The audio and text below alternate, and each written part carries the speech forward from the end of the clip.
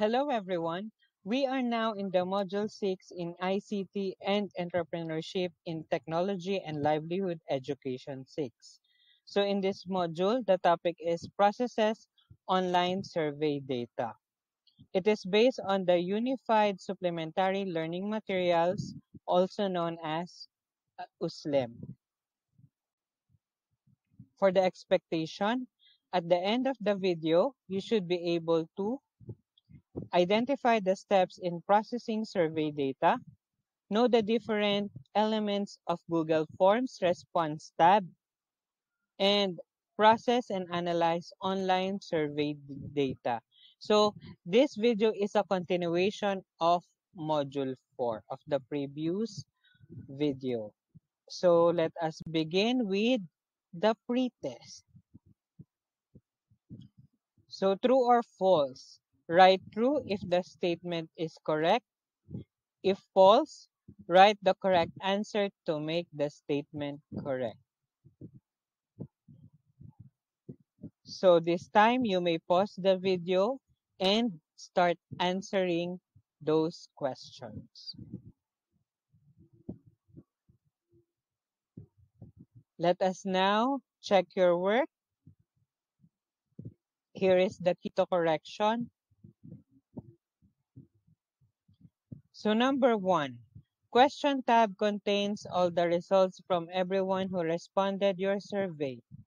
The correct answer, responses tab, meaning to say it is false. Two, there are five different ways of viewing your form responses. The correct answer is true. Three, downloaded or downloading an Excel file is necessary before you start processing survey data? The correct answer is is not. So downloading an Excel file is not necessary. Four, it is important as an entrepreneur to have a feedback. The correct answer is true. Five, responses tab has three subtabs. The correct answer is true.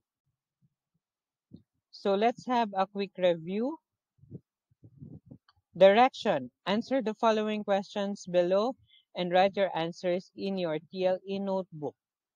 So what is survey?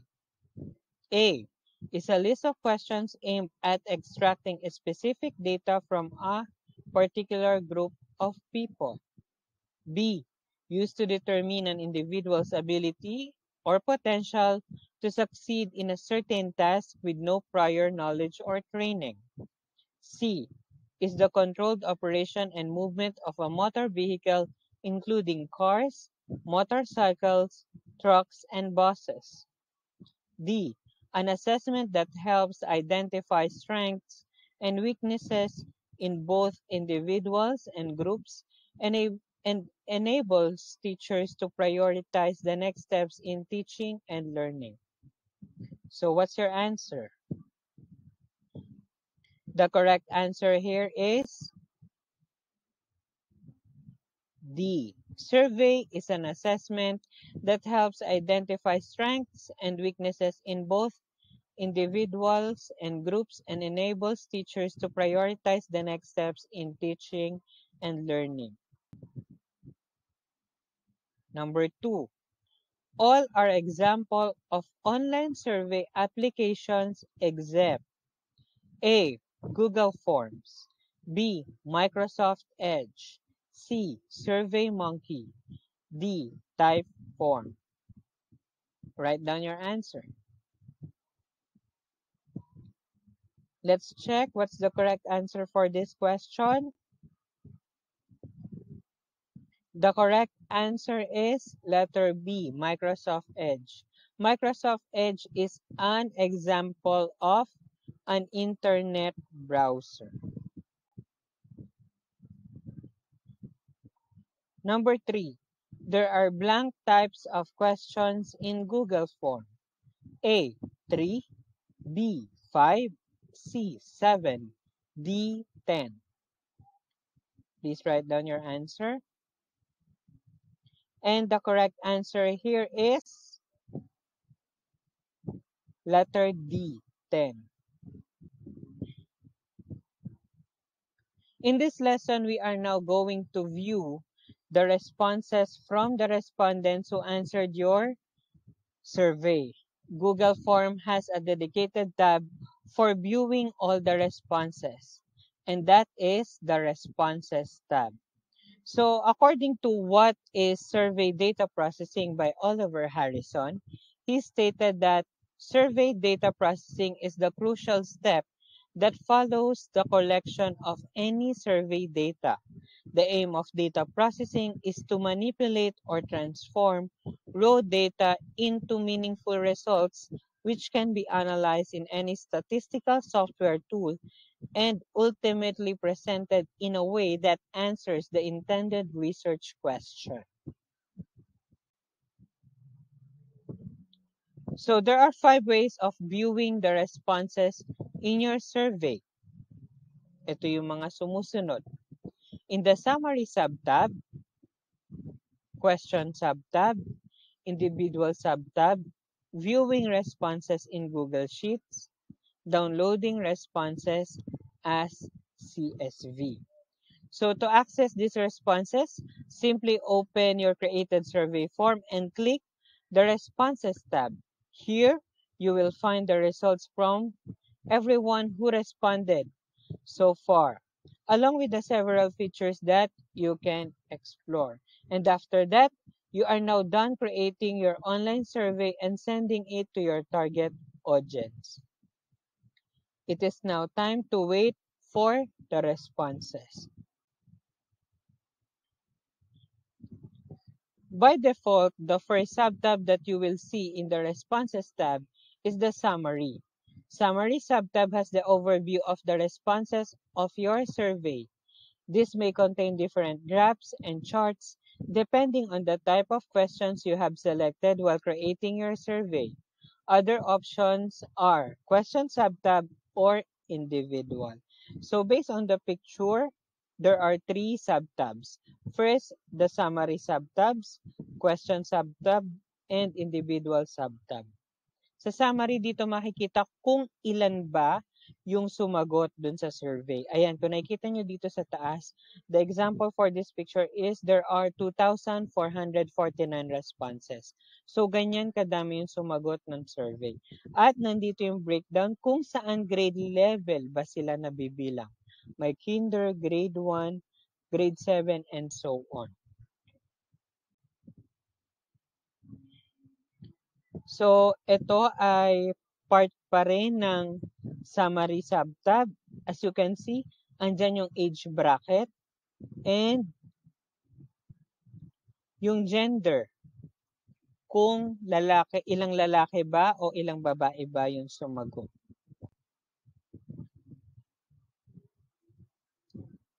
So, ito naman yung sa question subtab.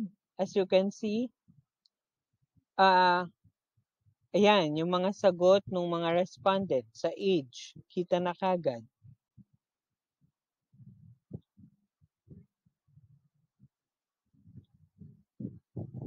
So, ayan, part pa rin yan ng Google Form.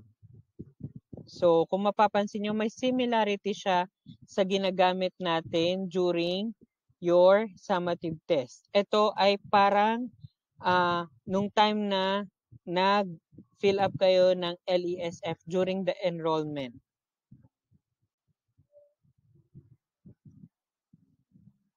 So you can also view responses in a spreadsheet. To use a spreadsheet with respondent or with responses to your form by doing the following. Number one, Click the View Responses button in the toolbar. The dialog box will appear that lets you choose between creating a new spreadsheet or creating a new sheet in an existing spreadsheet. So yan yung kulay green. So yan yung tinatawag na Google Form. I mean, Google Sheet rather. So and the last option you have to view is is to view it as a CSV, also known as comma separated values on Microsoft Excel. Yun na yung downloaded file. So, To download a CSV file of all the responses, you must do the following. Number one, click the File menu. Two, select Download Responses or CSV file. Three, from there, you can use the Excel features to analyze the responses from your survey. So there are two ways to open your spreadsheet. it's either you open it sa Google Sheets or you may download the CSV file.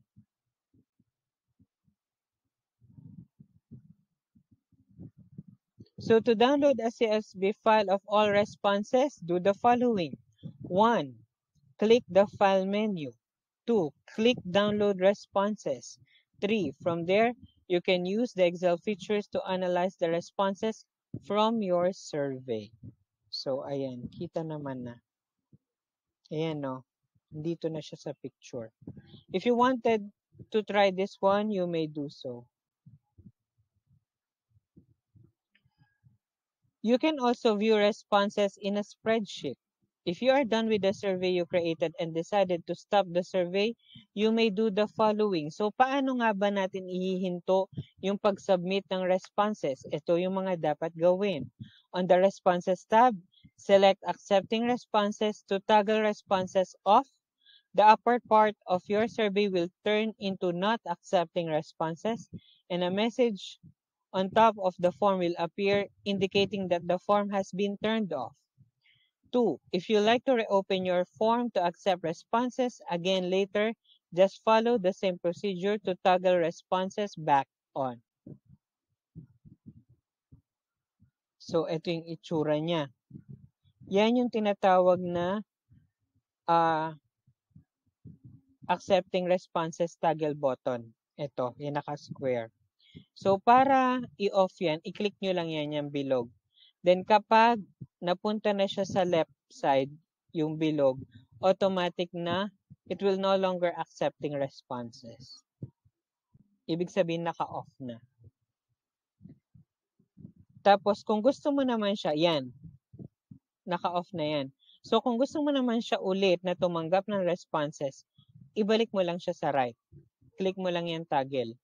Then, accepting responses na siya ulit. You can also customize the message letting the visitors know that the form is no longer accepting responses. Change the text that appear under the heading Message for Respondents. So there is an activity for this uh, topic. So look at the responses in your survey form, analyze your data using the Responses tab of Google Form, and answer the following questions below.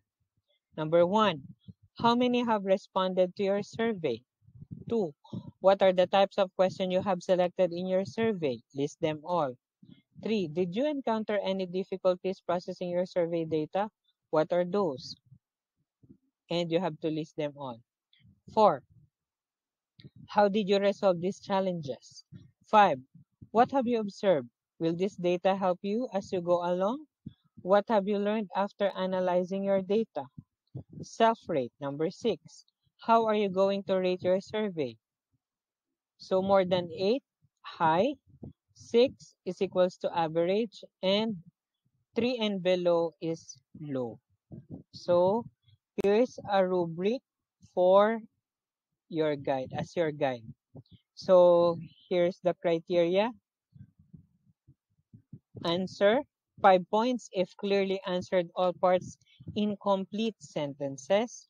Three points if we're able to answer all parts but answer may not be clear. And one point was not able to answer all the parts and is unclear. So cite. Five points cited evidences according to the analyzed survey data. Three points, most part of the answer do not have evidences from the process survey data. And one point, did not cite any evidences. And for the last criteria, which is the explanation, five points if we're able to explain answer, clear and understandable, able to expand idea beyond simply answering the question. 3. Was able to explain but not clear. and one point did not provide any explanation to the questions. So you may take a screenshot of this rubric for your guide. So remember, there are different ways of processing your online survey data depending on the application you use. But it is important for you to know that processing the, the data of the collected responses is vital to deeply understand what your audience was trying to suggest. Remember that product feedback is a great tool as a future entrepreneur. This will help know that what are the things you need to improve and what are those that satisfy your customers. And now, for your post test, please scan the QR code for you to access the link or you may also type the link given below or you may click the link in the description below to access your post test. Be sure to answer the post test. Should, should you have any questions or clarifications, feel free to comment down below. So that's all for this video. I hope you learned something from me.